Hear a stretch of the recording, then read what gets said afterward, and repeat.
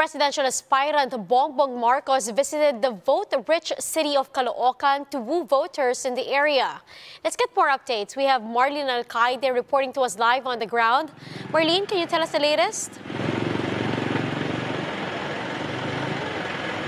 Riza former Senator Bongbong Marcos went around Caloocan City this morning.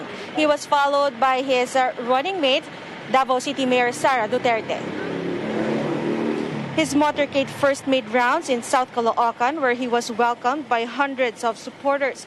Joining him were Caloocan City Mayor Oca Malapitan and his son, Congressman Along Malapitan.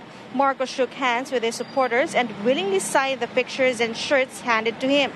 While supporters flocked to his caravan, there were also a few who brought placards saying, Never again, unity at the cause of truth is false unity, and wag iboto ang magnanakaw at sinungaling.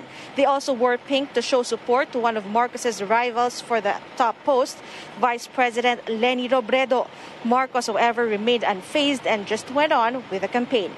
In the afternoon, Vice Presidential Bet Sara Duterte joined him in the caravan and they went around North Caloocan. Sara's father, President Rodrigo Duterte, won in Caloocan City during the 2016 elections. Riza, the UniTeam is also set to have a grand campaign rally here in North Caloocan today. Riza? Thank you for that update. That's Marlene Alcaide reporting live from Caloocan City.